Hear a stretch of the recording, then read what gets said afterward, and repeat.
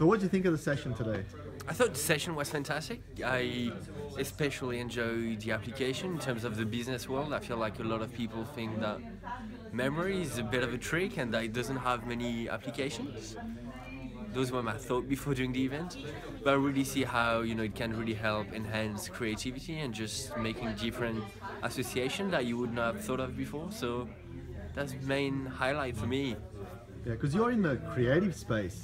Isn't I that know, right? yeah. So being in the creative space and even you know, being a TED speaker yourself, uh, what did you make of the stuff that we were talking about with creativity?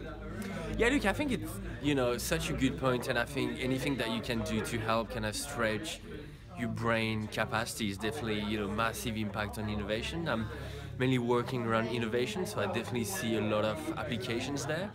Um, and I think you know a lot of people don't tend to um, you know think in different ways or do different type of association and you know innovation is all about making different connections and linking different ideas or objects or concepts that you would never have thought of before so yeah massive um, implications there Cool. Thank you.